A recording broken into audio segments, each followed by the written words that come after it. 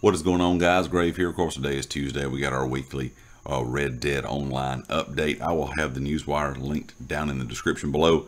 This week is pretty thin. It's kind of lacking, kind of disappointing, kind of like the last several weeks. But uh, things like stagecoach, stick up, uh, lit fuse, wrongful property, and back pay will be uh, dealing out double RDO cash. And completing any of those crimes will also give you half off uh, select boots from the Wheeler Rawson & Co. catalog. Also, all crimes and opportunities will earn you the double usual ability card XP between today and September the 6th.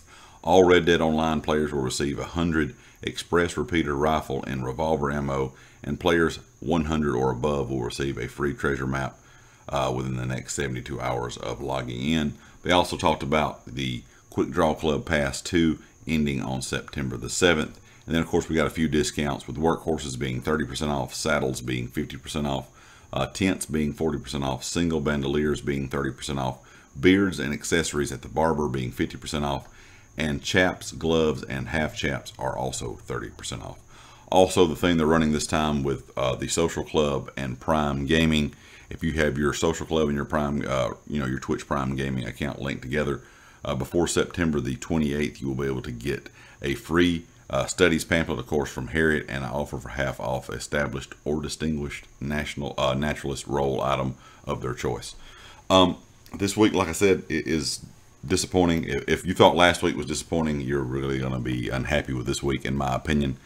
I was really hoping Rockstar was going to do something uh, a little bit different, considering they got everyone's hopes up with the whole, or a lot of people were looking forward to maybe what could happen with the whole idea of having robberies and things in game.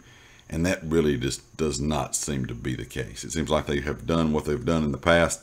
They give us a little bit of, uh, you know, content and they really don't build upon it and they just kind of leave it there. And, you know, they may build upon it later on when they come up with another update, which who knows when that'll be. If we'll get another one this year, it'll be next year. It seems like over the last couple years, our major updates are getting to where it's like one or two a year, and that's kind of it.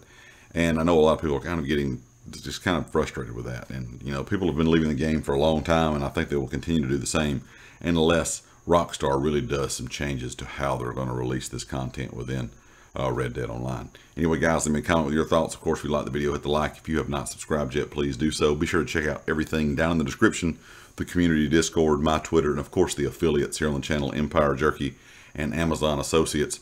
I'm partnered with the Amazon Associates, kind of uh, linking some things down in the description that I use daily in gaming and life, whatever the case may be, stuff that I have reviewed or stuff that I just use, like I said, every day, and maybe some things you guys might be interested in. So check all that out down in the description, and I'll catch you all next time.